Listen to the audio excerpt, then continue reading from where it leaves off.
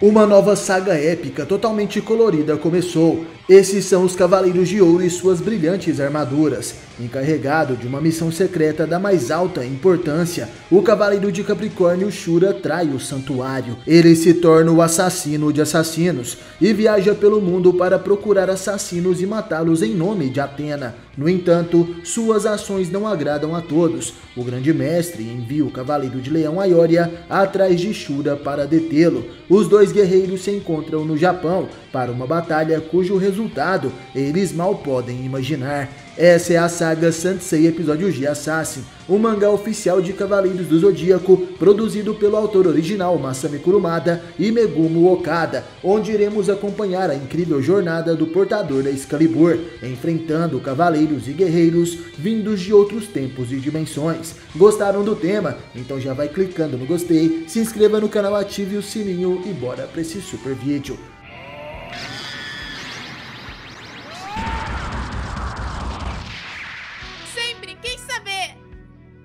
Sansei Episódio G Assassin Capítulo 0 Vemos as ruínas do Santuário de Atena, localizado na Grécia. Nesse lugar, o Cavaleiro de Capricórnio Shura recebe uma missão secreta que o converterá em um assassino. Com roupas comuns, vemos Shura que perguntava o porquê dele ser o eleito para essa missão. Qual seria o seu objetivo nisso?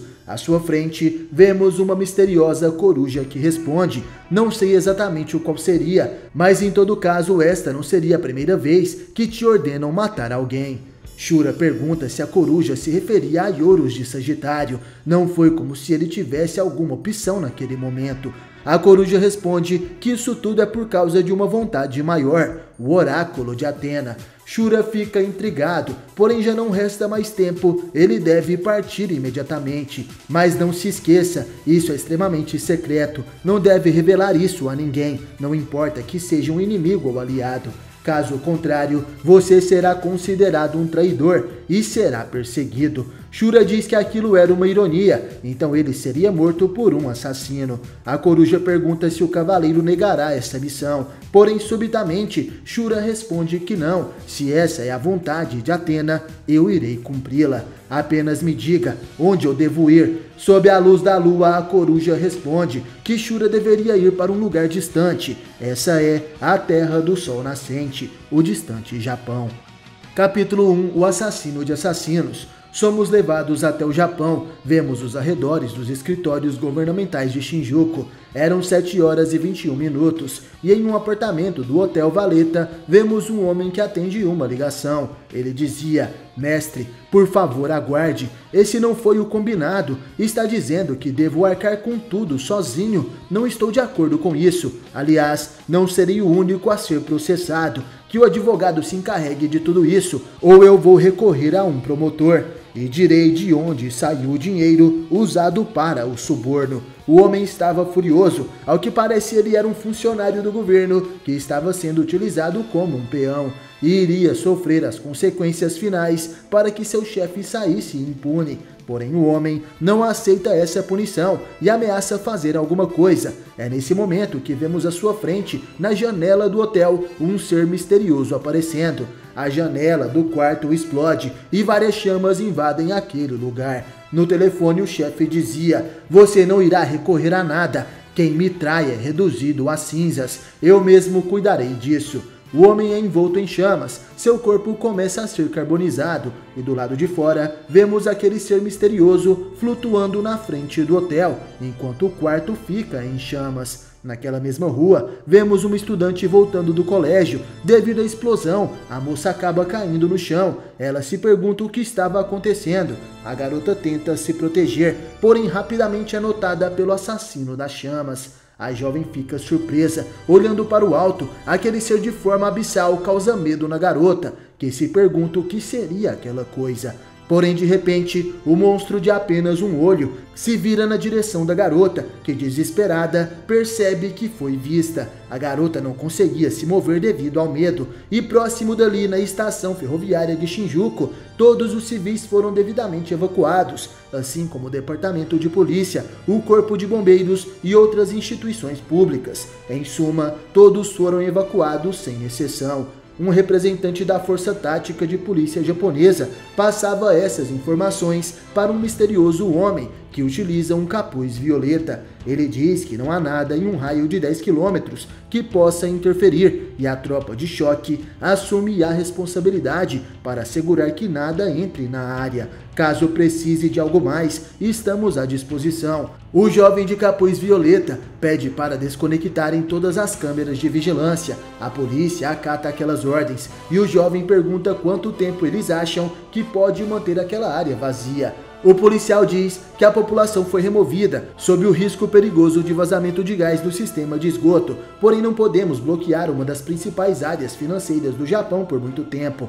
Provavelmente algo em torno de duas horas. Ao ouvir aquelas palavras, o garoto de capuz violeta diz que terá que se apressar. Algo mais que queira me informar. O policial diz que o codinome do alvo é S e ele possui uma refém. O jovem acredita que isso seria impossível. O policial responde que não há detalhes e nem registros visuais. Além do mais, nenhum dos policiais tem meios ou habilidades para encontrar S e também não podem confirmar se S realmente se encontra naquele lugar. O jovem diz que eles não precisavam se preocupar com isso. Eu sinto o cosmo de S bem próximo daqui. Antes de meia-noite, vou capturá-lo e matá-lo. O jovem de blusa lilás retira seu capuz. Apesar de seus cabelos negros, seus olhos são azuis. Porém, ao seu lado, embaixo de uma capa, podemos ver a urna de uma armadura de ouro. Utilizando seu cosmo, o jovem garoto consegue perceber S está próximo, só que no subsolo, em um lugar muito profundo. Vemos a jovem garota colegial caída no chão. Ao seu lado, o celular começa a tocar. Ela então percebe que era uma mensagem de sua mãe. Ao recobrar a consciência, a menina se pergunta onde estaria. Aquele lugar era um estacionamento subterrâneo. Porém, a jovem não sabia como veio parar ali. Eu estava de saída para a escola quando houve uma explosão. Foi quando eu vi algo. A jovem se lembra de ver um misterioso ser entre as chamas. Porém, ao se virar, a garota não esperava que aquele ser gigantesco e aterrorizante chamava por seu nome. Yoshino Hino. Então foi você quem me viu, sabia que eu existo há mais de 3 mil anos. A garota começa a tremer. Ela percebe que essa coisa foi exatamente o que viu antes de perder a consciência. O ser então se aproxima e diz: Yoshino, esse é o nome escrito em seu livro. É um belo nome, dá a impressão de que você nasceu para queimar. Eu adquiri o poder de manipular as chamas há 3 mil anos. Este poder me tornou um pária, e por isso fui morto e então condenado a vagar eternamente como um cadáver. Mas ainda que meu corpo tenha padecido, a minha alma conseguiu sobreviver, e essa alma segue sentindo o prazer de queimar as pessoas. Não há como esquecer. E em particular, queimar mulheres e crianças é ainda mais emocionante do que qualquer coisa. E você, garota, eu vou queimar muito lentamente. O cruel cadáver das chamas começa a brilhar ele se prepara para queimar Yoshino, porém de repente um golpe cortante o impede. Aquele é Shura que dizia: Você não me parece um assassino profissional, mas alguém que age movido pelo impulso daquilo que gosta. Yoshino fica surpresa. As chamas que estavam prestes a atingi-la foram cortadas. O demônio pergunta quem seria aquele homem. Shura então responde: Vejo que gosta de queimar coisas, gosta também de queimar pessoas por prazer, e na busca de saciar esse seu prazer, provocou a morte do secretário de um político, o incinerando com seu fogo. Ele estava envolvido no escândalo envolvendo propinas, e suponho que você reduziu essas evidências a cinzas, conforme foi solicitado pelo seu cliente. Esse, aliás, que se beneficia com as regalias de todo esse dinheiro sujo. O demônio das chamas então responde: Eu o vejo como um ser humano, mas não posso acreditar que seja um humano comum. Quem é você? Me responda. Shura pergunta se nada vem à mente de seu oponente. Esses três mil anos te deixaram de mente vazia. Eu sou um assassino profissional, assim como você, mas existe uma diferença entre nós. Eu não tenho nenhum cliente. O assassino das chamas pergunta como isso seria possível. Você não é compensado por seu trabalho? Shura responde que não. Esse tipo de coisa não me interessa. Eu sou um homem que mata assassinos. O assassino das chamas fica surpreso. Shura diz que poderia explicar o porquê disso, porém ele não entenderia sobre o oráculo. Sabe quantas pessoas morreram por causa do fogo que você provocou? Foram oito mortes. Foram outros 15 que ficaram gravemente feridos e estão no hospital. Eles sofrem por causa das queimaduras e lutam para sobreviver. Alguma vez já parou para pensar na dor que essas pessoas estão sentindo? Acredito que em algum momento você também já foi humano. Não admira que tenha esquecido a dor após tomar tantas vidas. Sendo assim, receberá a punição divina por seus crimes.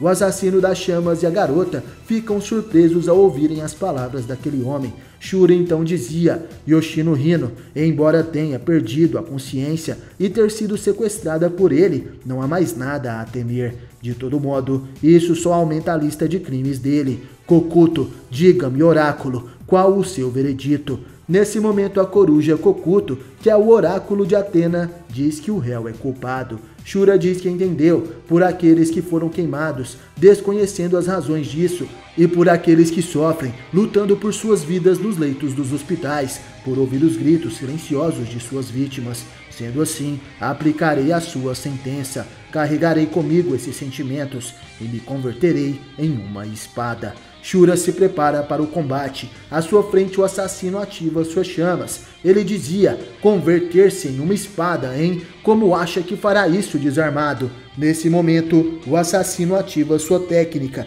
a combustão espontânea humana. Yoshino Hino estava surpresa. O homem à sua frente começou a queimar do nada. O assassino revela que tem a habilidade de desencadear a ignição no corpo humano. O meu fogo atinge o alvo sem uma única faísca para acender o fogo, e então queimará por completo. Leva alguns instantes para ser reduzido a cinzas, não há como escapar. A temperatura das minhas chamas chegam a mil graus, é comparável à intensidade do magma, e é por isso que nada pode escapar. O homem que veio salvar Yoshino desaparece entre as chamas. A garota começa a chorar, ela acredita que todos morrerão queimados. Kokuto se aproxima e pergunta por que a garota estava chorando. Se vai chorar ao menos, espere meu companheiro acabar com ele. Mantenha os olhos bem abertos, seja qual for o poder de ataque contra ele, a sua espada permanecerá indestrutível. Yoshino estava surpresa ao ver aquela coruja conversando com ela. Kokuto dizia: Não precisa se preocupar com o magma, meu amigo também está a ponto de erupção, em um nível ainda mais intenso que o próprio magma. Ele é Capricórnio. Shura sai de dentro do magma. O seu brilho dourado se espalha por todo o local. Aquela é a armadura de ouro de Capricórnio que veste o corpo de seu cavaleiro. Yoshino fica surpresa. Aquele homem não morreu no fogo. Ele veste uma armadura de ouro. Shura, avançando, dizia que há muitos materiais que não se fundem ao magma. Por exemplo, titânio, platina, maldibidênio ou tungstênio. Mas essa armadura que uso é de um material completamente diferente desses. Essa armadura não foi criada por mãos humanas, essa é uma criação concebida pelos deuses. O assassino das chamas fica amedrontado e dizia: Eu jamais senti um espírito brilhar tão intensamente, um poderoso guerreiro com grande desejo de lutar. De onde vem essa força? O que é esse cosmo? E essa armadura, por acaso, você seria um cavaleiro? Shura dizia: Sou um dos guerreiros que se reúne junto de Atena, a deusa da guerra, para proteger a terra. Cada um de nós tem uma armadura correspondente a uma constelação que protege e estamos prontos para a batalha. Eu sou Shura, o cavaleiro de ouro de Capricórnio. O assassino das chamas fica surpreso. Um cavaleiro, um guerreiro da justiça. Então não são apenas lendas, vocês realmente existem. Shura responde que as pessoas sem coração não têm por que saberem de sua existência. Agora, para aqueles como você que brincam com as vidas humanas, eu sou seu pior pesadelo. O assassino das chamas observa Shura e diz em pensamentos: mesmo sob meu calor de mil graus, não pude queimá-lo, porque está protegido com essa armadura. Diz a lenda que os cavaleiros podem rasgar o céu com seus punhos e abrir fendas na terra com um chute, e que os cavaleiros de ouro são a elite de sua ordem. Estou fadado à derrota. Preciso criar uma margem de fuga. Vou incinerar a menina e me divertir, e então escapo no instante que ele se distrair.